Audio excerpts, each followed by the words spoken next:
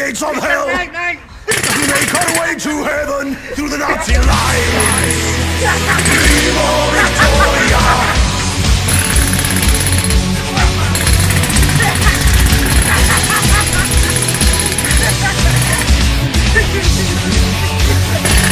Ha ha